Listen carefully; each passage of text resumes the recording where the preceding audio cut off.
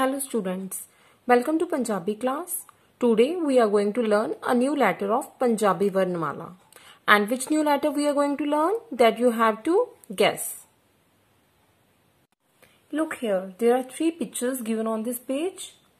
Let's talk about the first picture. What's this? This is flower pot. Now come to the second picture. The boy is playing with the ball.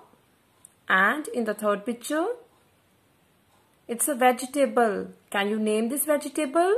Yes, you can. This is carrot. What's the Punjabi meaning of flower pot? Gagga, gamla. And for ball?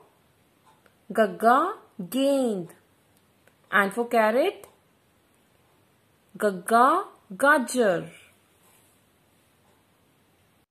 So, we are going to learn a new letter, Gagga. And for reading Gagga, take out your Akhar Gyan book and open page number 8. We will learn Gagga. So, write down G in front of Gagga and read it Gagga G. Gagga G. Now come to the first picture and start reading Gagga G. Gaon. Gaon means cow. At the top of the picture space is there. Write down cow there. C-O-W cow. And read it once again.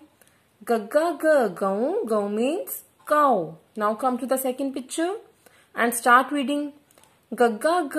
Gamla. Gamla means flower pot. F-L-O-W-E-R flower. P-O-T pot. Flower pot. And read it once again. Gagga G. Gamla. Gamla means flower pot. Now come to the next picture. What's there in this picture?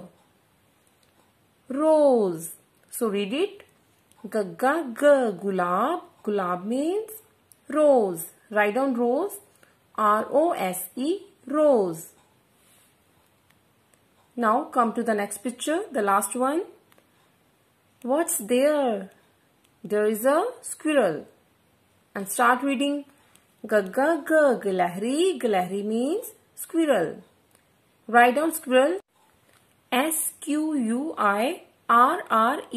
Squirrel. Now, if I ask you to read page number 8, how will you read? Let's read together. Gagga G. Gaon. Gaon means cow. Gagga G. Gamla. Means flower pot. Gagga G. Gulab. Gulab means rose. Gagga G. Gilahri. Gilahri means squirrel. Now I hope you can recognize the letter Gagga.